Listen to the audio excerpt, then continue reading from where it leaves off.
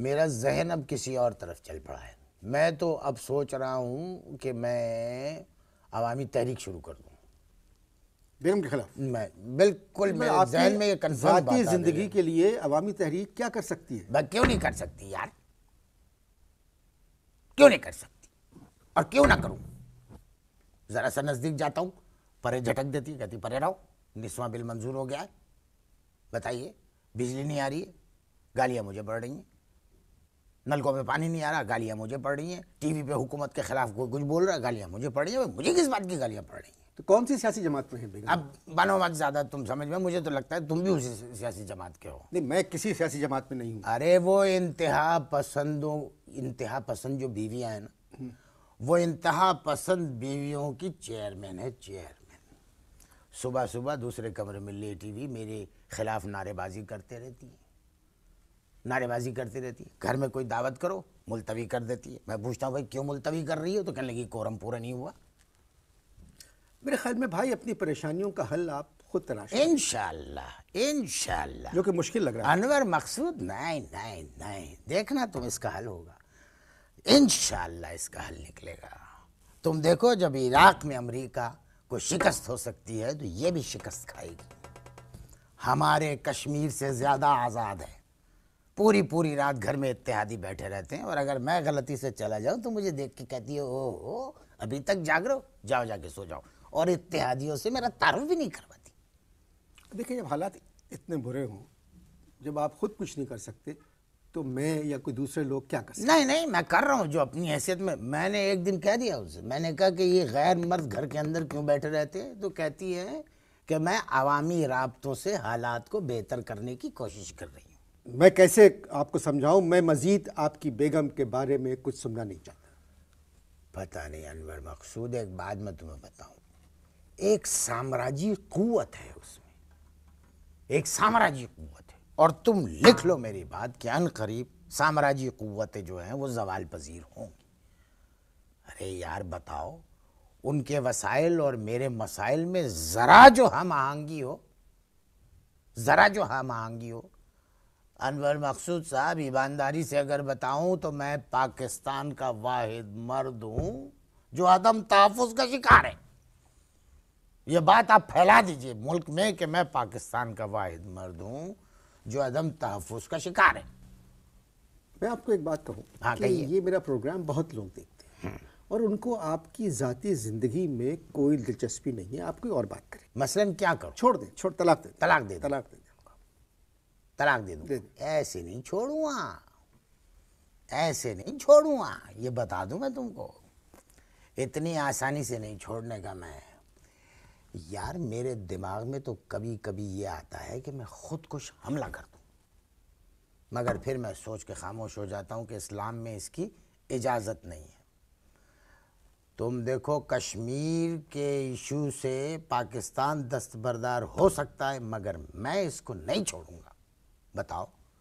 घर में नौजवानों को ले आती और मैं उनसे पूछता हूँ कि ये क्या?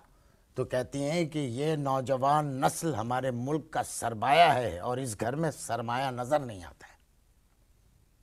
और जो उन्होंने परसों जो मुझ पे इल्ज़ाम लगाया है अगर वो सुन लो तो तुम तुनक जाओगे। ये तो क्या इल्ज़ाम? मुझसे कहने लगी कि तुम मुझे हजाम का जंगालू दूसरा नज़र आते हो और तुमसे एड्स भी हो सकती आपने क्या कहा? मैंने तो ऐसी सुनाई है अनवर। ऐसी सुनाई है ऐसी सुनाई है कि ज़िंदगी भर उनको याद रहेगी कि किसी मर्द ने उनको कुछ कहा। क्या कहा आपने? मैंने कहा चुप। मेरे भाई मैं फिर आपसे कह रहा हूँ कि मुझे बोलने दें। मैं बोलने दे मुझे जितना मैं बोल सकता हूँ मुझे बोलने दे मुझे एक दफ़ा भड़ास निकाल लेने दे। अरे बताइए घर के ऊपर ऐसा लग रहा है जैसे उनका गैर आइनी कब्जा है। और वो तो मैं उनसे छुड़वा कर रहूँगा। कौन करेगा? कौन छुड़वाएगा? अब यही मैं यही बात तो सोच रहा हूँ मैं कि कौन ये करेगा? एक बात बताओ ये तुम्हारी मेरी आपस की बात है कि सदर साहब जो हैं हमारी बातचीत में पेशरफ्त करवा सकते हैं क्या? ना आप बलूचिस्तान हैं ना वो खाना कल्लात हैं। तो सदर साहब पेशरफ कैसे करा सकते हैं बातचीत में? आप दूसरी शादी कर लें। दूसरी शादी कर लें कहना तो बड़ा आसान है याद रखना। मेरी हमेशा एक बात कहीं लिख लेना मैं कोट कर रहा हूँ उसको लिख लेना कि बेगम से दस्तबारदारी निकाह नामे से गद्दारी के मुतरदिफ है। इसका मतलब है कि आप छोड़ना भी नहीं चाहते और ये फैसला भी नहीं करना चाहते। अरे भाई मैं क्या बताऊँ? यकीन जानो सारे फैसले खुद करती अपने आप को अदलिया समझने लगी। वो सारे फैसले खुद करती हैं। और अपने आप को अदलिया समझती हैं। जी। तो आप खुद को क्या समझते हैं? मैं खुद को बल्दिया समझता हूँ मैं उनकी सफ़ाई करना चाहता हूँ। मैंने इस्लामी सज़ाएँ पढ़ रहा था अस्सी सज़ाएँ तो ऐसी हैं जो उनको दी जा सकती हैं लेकिन सवाल ये उठ रहा है और सवाल ये उठता है कि उनको सज़ा देगा कौन? क्योंकि हुकूमत तो औरतों की तरफ़ है।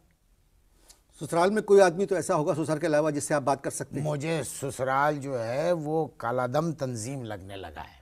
समझ में आए बात? दस पंद्रह जमा होके आते हैं मेरे घर पे आके जुलूस की शक्ल में नारेबाजी करते हैं। और अब एक बात मुझे बताओ रुखसती लड़की की होती है औरत की बीवी की रुखसती होती है या नहीं होती है। हैं? मेरी बीवी मुझसे कह रही है कि इस घर से मैं तेरी रुखसती करवाऊँगी। मेरे भाई कुछ दिन तो अच्छे गुजरे होंगे। यानी शादी में जो नुकात तय होते हैं ना जी।